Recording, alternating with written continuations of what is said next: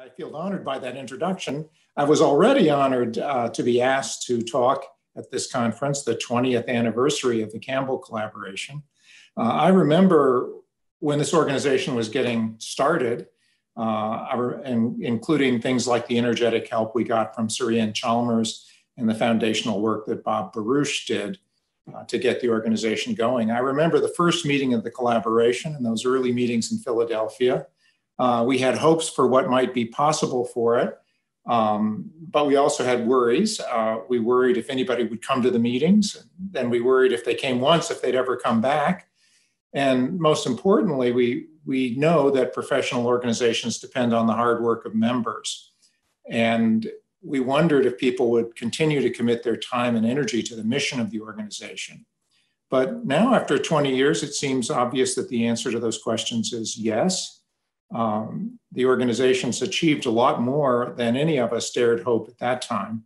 But I think the reason for that is that it arose out of a, out of a vision of what we believed was an urgent scientific and policy need. Campbell's been a key part of an intellectual shift that's created a new professional specialty of systematic reviewers and new institutions, of which Campbell is one, uh, that support the specialty of systematic reviewing. Before I go into great detail uh, about the, um, this new professional identity and these new institutions, uh, I'd like to start with a little history. And most of that history is history that um, some of you know, many of you know it all, but there's probably a few aspects of that history that uh, will be unfamiliar to you, and it, it has relevance in understanding where our field is today. Uh, here's some history that you probably know, most of you, anyhow. Uh, this term systematic review seems to have first been used by Archie Cochrane in a review of medical research about 1979. And it's certainly possible that other people used that term earlier, but that's one date that many of us look back to. About 1980, there was an important paper by Gregg Jackson that was an empirical evaluation of the quality of research reviews in the social sciences. And uh, Gregg's review found that reviews in social science weren't very methodologically adequate. Uh, getting out of order a little bit, uh, but for a but for I think a good reason.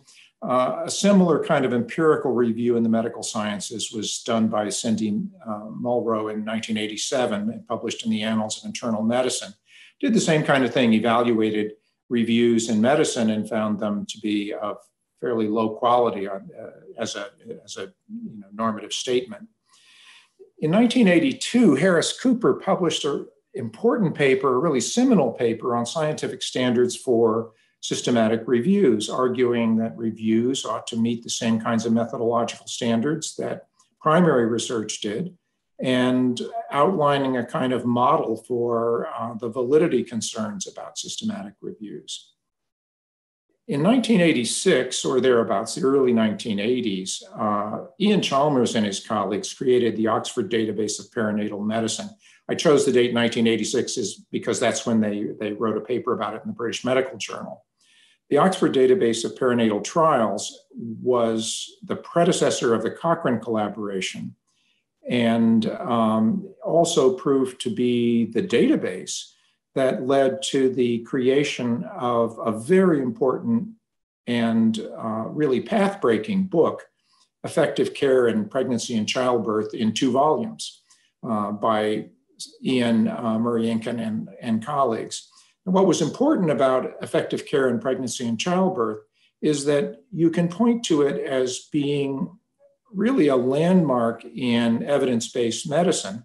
It was a medical textbook that attempted to make all its recommendations about care on the basis of systematic reviews of scientific literature.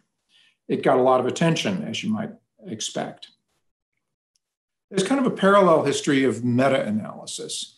Uh, the term, I'm sure uh, many of you know, uh, was invented by uh, an education psychologist, Gene Glass, as the analysis of statistical analyses. Uh, these are the methods we often use in, in the synthesis part of systematic reviews. That was in 1976. In 1981, uh, Gene Glass and his colleagues published the first book on meta-analysis called Meta-Analysis for Social Research.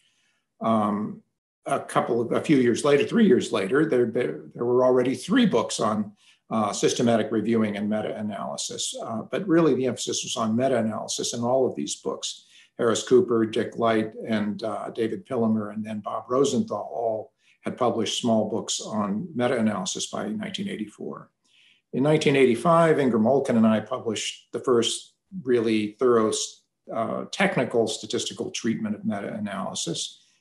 And there's a date in 1986 that may not uh, be familiar to too many of you, but it was an important date as far as meta-analysis was concerned because it was the date of a meeting that the US National Academy of Sciences through the Committee on National Statistics uh, created a meeting on the future of methodology for meta-analysis. The reason this meeting was important is because at the time there were statisticians who and scientists who believed that meta-analysis didn't deserve to have a future. And that meeting, um, held oddly enough in Hedgesville, West Virginia, in a, in a resort, um, was important in creating a firm foundation, a political foundation within the scientific world for uh, meta-analysis as a scientific technique. And I offer in 1994 as a as an important time because that was uh, marked the publication of the of what we now know was the first handbook of research synthesis, which brought together authors uh, who were working on systematic reviews and working on the statistical parts of uh, systematic reviewing, that is meta-analysis, and contributed some kind contributed one reference for a great deal of the things that were relevant to what we now see as our field. But there's some history you might not know that is relevant to what I have to say later today. And that history uh, begins with uh, a 1905 paper by Karl Pearson. Uh, this is the same Karl Pearson who invented the correlation coefficient, or at least for whom the correlation coefficient is named. He published a, we published two reviews in the British Medical Journal of the effectiveness of typhoid vaccine. What's interesting about these particular papers is, although they were published an awful long time before the term meta analysis was invented, they look fairly modern as meta analyses. If you read them, you might quibble about the way in which they combine the effect sizes across, across studies, but nonetheless, it looks pretty much like uh, a modern meta analysis. Uh, each study uh, was used to create an effect size estimate, which was not surprisingly a correlation coefficient, given Pearson was doing it. And uh, then he combined those across studies to try to conclude something about the effectiveness of the vaccine. I suspect not too many of you know the 1932 reference, uh, or even maybe have heard the name Raymond Birge. Birge was a physicist at UC uh, Berkeley, the University of California at Berkeley. And in 1932, he published the first methods paper on combining the results of experiments in physics. If you read that paper, you'd recognize it as being very modern. He recommended weighting of effects from different studies. He understood how to calculate their standard error, the combined standard error, and the statistical significance of the combined effects. He understood how to uh, test whether or not the effects were consistent with one another using something that was essentially just the Q test. And Birge's name is remembered in physics um, for an index of uh, consistency of results across studies, which is just the Q test statistic divided by its degrees of freedom. It's called the Birge ratio in physics. 25 years later, uh, 1957, the particle data group was founded appropriately enough at UC Berkeley. Um, it was found, it was a group of physicists who came together to do systematic reviews of experiments on high energy physics, elementary particle physics. And they have been doing that every two years, publishing something called the Review of Particle Properties ever since. It's a key resource for high energy physics researchers. In 1964, the US National Bureau of Standards created the National Standard Data Reference System, importantly involving not just scientists that worked at NBS, which was a government organization, but several external critical review centers.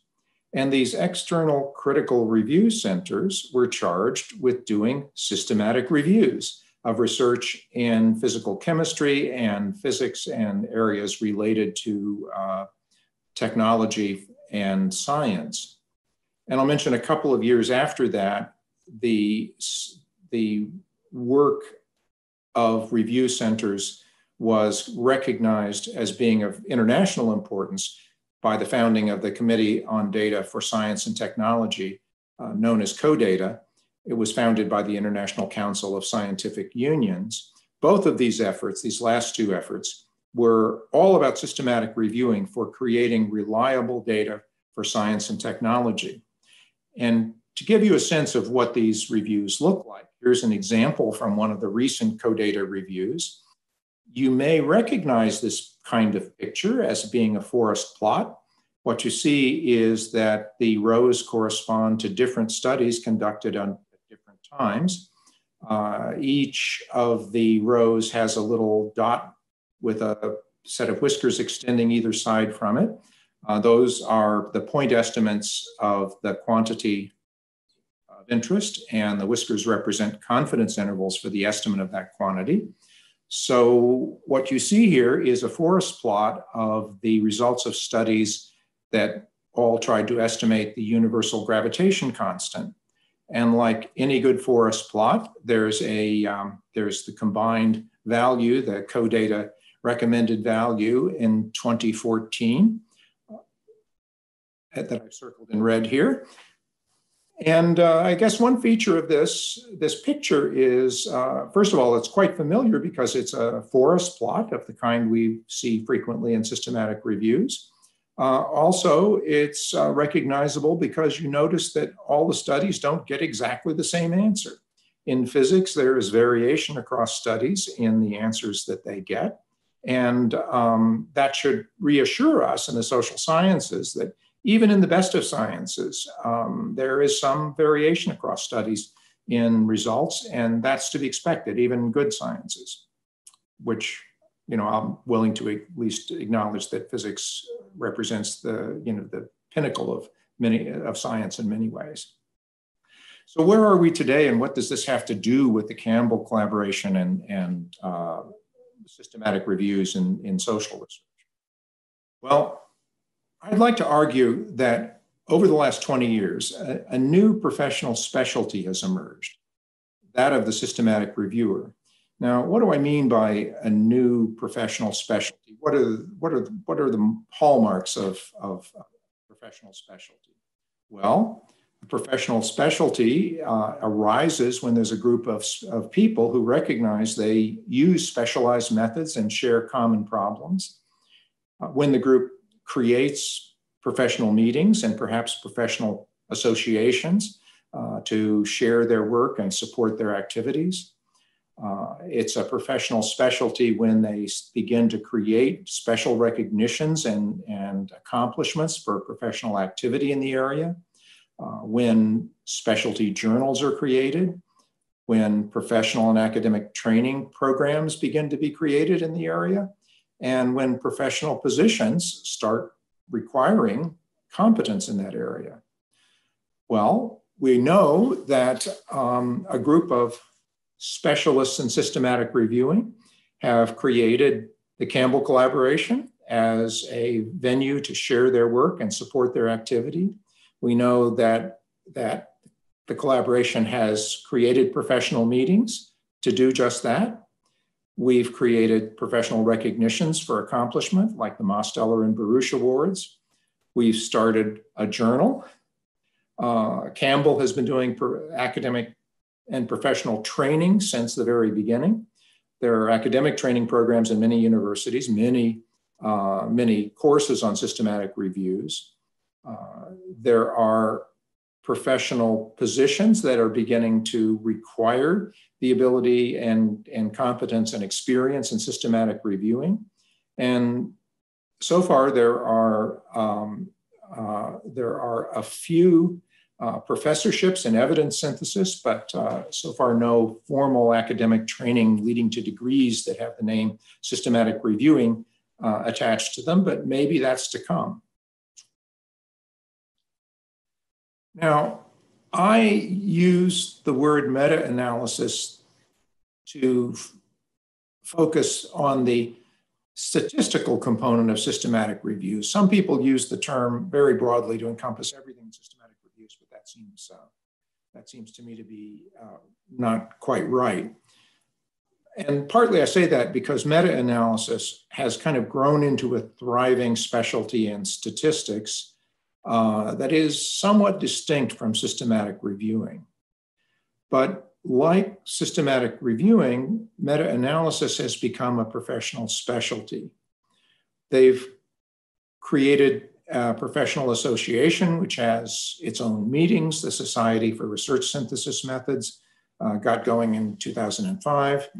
Um, the Society for Research Synthesis Methods has created professional recognition, that is, prizes, the uh, for work in that area. The Olkin Award and the Shadish Award are examples of that.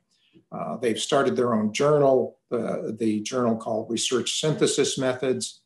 Uh, they have created professional training programs, and uh, other professional training programs have been created by scientific and government organizations. Uh, there are many graduate courses in meta-analysis in universities around the world, but again, I don't know of any any formal degree program in in meta-analysis, but nonetheless, it's very much in the curriculum of many universities. I see meta-analysis and systematic reviewing as complementary but not identical specialties, and I think that's important. Uh, systematic reviewing requires skills that are more complex than just statistics, although I think some statisticians don't seem to realize that, and, to, and that's not to their credit. Uh, Meta analysis as a field is influenced by its connections with statistics as a field. I think it's drawn towards more technical issues that uh, may or may not be entirely relevant to systematic reviewing.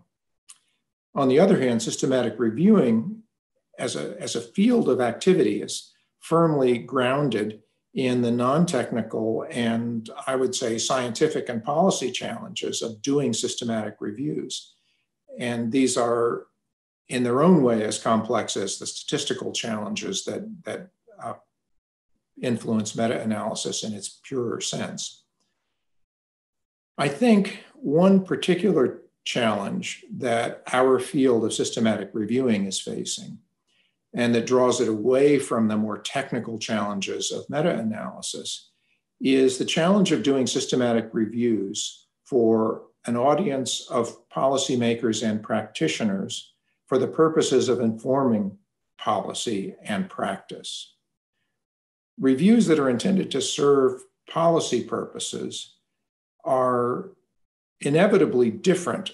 They, they are different and they should be different than reviews that are done solely for scientific purposes. And this distinction between reviews uh, that are done for scientific purposes versus policy purposes is, I think, important.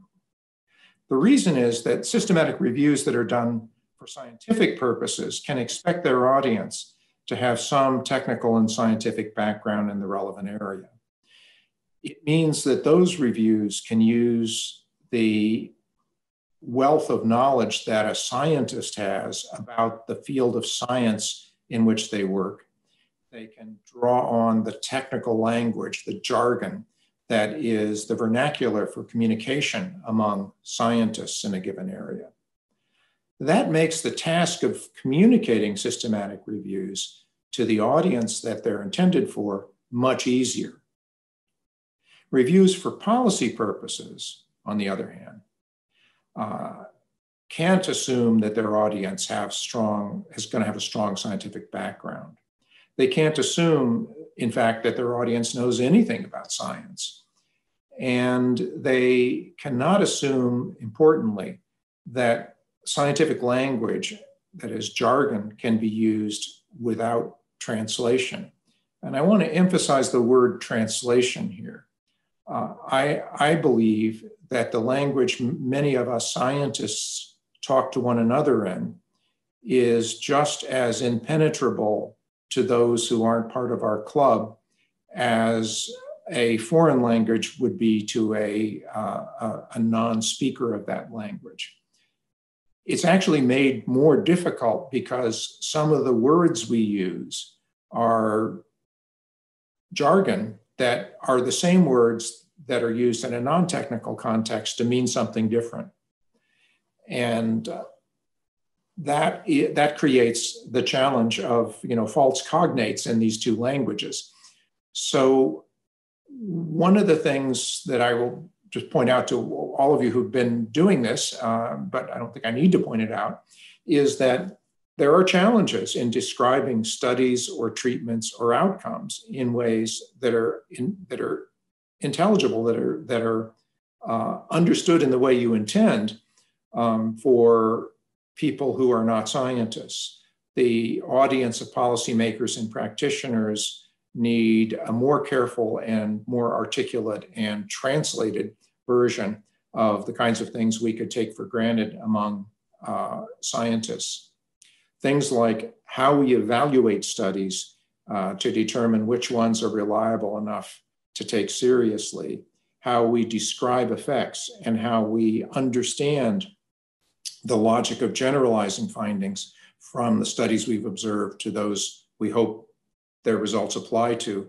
Those are all very difficult, even among, uh, uh, in some ways, even among scientists, but they assume a great deal of additional difficulty when we're trying to communicate with uh, non scientists. And as I would argue, they present difficult translation problems. And these translation problems are not in and of themselves trivial enough that they can be resolved without serious research. They present researchable problems, and research on them is desperately needed. An anecdote that I that I've told more than once is, uh, and it happened not so long ago. Uh, I was in a meeting of uh, some senior policymakers in uh, actually they were in in uh, the U.S. and the meeting was convened with uh, half a dozen people who were all technical specialists, and the man who was running a, uh, a particular uh, uh, office in, in the US government said, well, the first thing we have to do is figure out how to describe effects so that teachers can understand them. And how do we describe effect sizes in a way that, that is, is completely transparent and will communicate properly. And it occurred to me, and I said, we are exactly the wrong audience to make that decision. We're, you know, he was planning that we would do this in the first 15 minutes of the meeting, and then we'd get on to you know other things. And I argued that this was something impossible to do with the group he had surrounding a, uh, the table. That in order to accomplish that, one needed research on how the intended users interpreted what we said in our in our summaries, our systematic reviews, and that you know the only way to the only way to understand how whether a translation has been effective is to try to understand what the people you're trying to communicate with think it means and uh, and tweaking it until their understanding corresponds to what you hoped they would understand I think we need research like this to help improve the quality of our communication of systematic reviews for policy purposes. And I'm absolutely convinced that the disciplines of cognitive psychology and what I call the new journalism, this is journalists who are doing laboratory research, have a lot to offer in uh, helping us do better research on translation and ultimately do better translation of our work for the audiences we intend. The distinction of review and purpose, uh, the purpose of audience, the purpose and audience of reviews is, is made more important by what I see as the emergence of a new institutional form. And that new institutional form is providing a lot of the energy in systematic reviewing these days. The emergence of evidence based policy has created a demand from policymakers uh, for evidence they can use. And that in turn has created new institutions that are intermediaries between researchers and policymakers. Uh, the Campbell collaboration was one of these first evidence brokers in the social sciences. And I'm using, there, there isn't exactly a good word for this new institution, but I, I'm, I'll call them evidence brokers for this talk. Uh, they are sometimes called clearinghouses. But the point is, um, there is an institution that has emerged and occupying the role of doing systematic reviews for social science purposes. Some of these evidence brokers are like the Campbell Collaboration Independent Professional Organizations. Uh, others are funded by philanthropy. There are now more than 30 organizations in the world that identify themselves as research clearinghouses. And so the word clearinghouse is often used to, to uh, describe these, these evidence brokers. Uh, some of these evidence brokers, these clearinghouses, are supported uh, entirely by government. Um, the, one of the most prominent that I know about is the U.S. What Works Clearinghouse. Uh, there are certainly others, and Campbell you know enjoys some government support, but it's not a wholly owned government entity. Uh, the Educational Endowment Foundation in the UK supports a toolkit project, which is in essence an evidence brokerage um, project. But I think what's important for us to remember here uh, is one, that the Campbell collaboration has helped create this. We have been the, um, the existence proof that such an institution is important in society. But the other thing I want to mention to you, I want to harken back to that history I was talking about in the physical sciences. It's not unprecedented that evidence brokers are, ne- are necessary to identify the evidence that's in the research literature and bring it together, to evaluate that evidence and synthesize it and make it available to the people who need the evidence. That's exactly what the National Standard Data Reference System does. It's exactly uh, in the US, it's exactly what CODATA does internationally. And it's exactly what Campbell and other evidence brokers are beginning to do in the social sciences. So there's a compelling need that's been felt in other fields uh, that we're addressing. And I think it's important for us to see that although what we're doing is unprecedented in social sciences, it's not unprecedented in science. Now, I think the emergence of evidence brokers many supported or entirely controlled by governments, is important. Um, and it supports the new professional identity of systematic reviewers. It creates demand for the specialty, it furthers its differentiation uh, and elaboration. Uh, it helps support training, but there are some dangers associated with these evidence brokers. And I want to talk about three um, of those dangers. They're dangers to our field and to Campbell in particular. One set of challenges are about authority. Um, are some evidence brokers more reliable than others? Uh, how does an evidence broker have the authority to be believable? And why uh, should we uh, think that? There are challenges of methodology if different clearinghouses use different methodology, which one's right?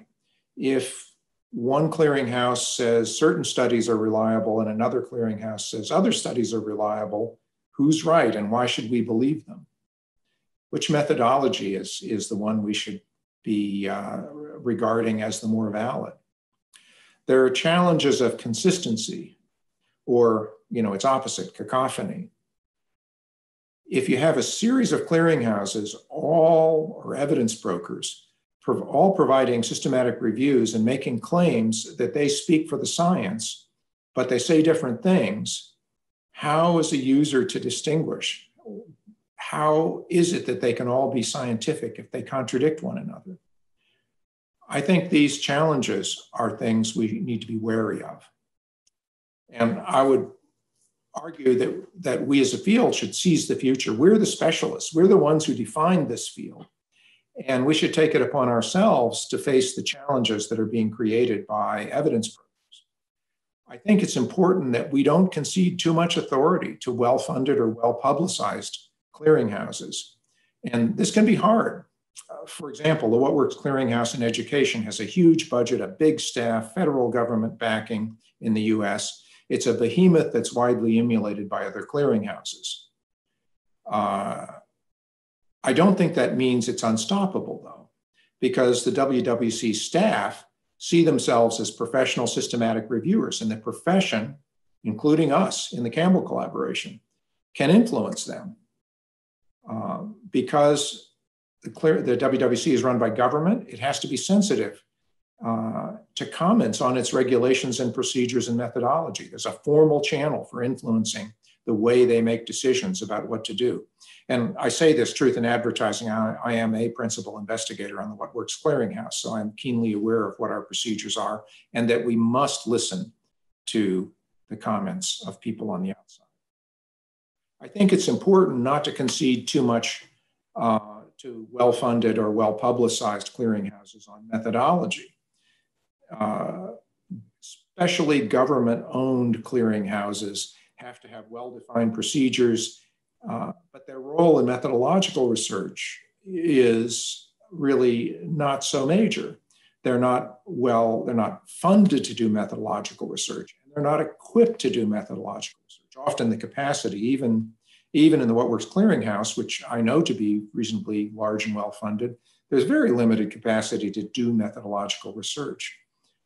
And therefore, these clearinghouses have to rely on external methodological folks, the, an external methodological community to provide answers. I can tell you that the first thing we do when we run into a problem in the What Works Clearinghouse is we ask, uh, what's been published on this? You know, who know, you know, let's go, let's go look at the literature to see if anybody has, has a solution to this problem. And I think all information brokers face similar methodological problems there's a real opportunity, therefore, to create partnerships among them to identify both methodological problems and find common solutions.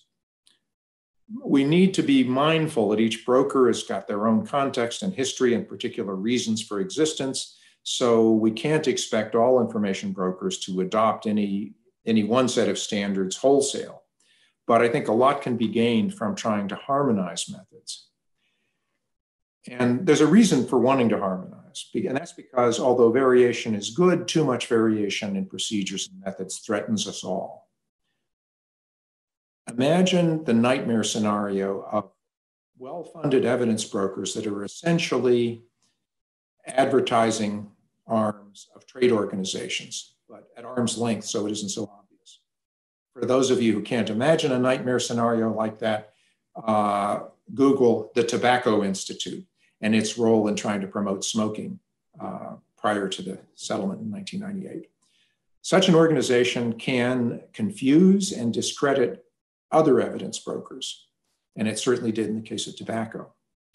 Purposeful harmonization of methods, standards, and procedures gives those harmonized methods, standards, and procedures authority. Even though evidence brokers are going to have different methods and procedures we would like them to, to, to all be within a generally accepted range that is collectively defined by the field and authorized, therefore, by the field. And I think this is one of our challenges as, as a new professional specialty. I'm really proud of the Campbell collaboration for helping to create this new professional specialty in the social science of systematic reviewers. I'm also proud that the Campbell collaboration has really been on the ground floor of creating a new kind of institution in the social sciences, the evidence broker. And I'm confident that as a leading evidence broker, Campbell will play great role in supporting systematic the, this new specialty and this new kind of institution uh, because it's essential in social science. Thank you.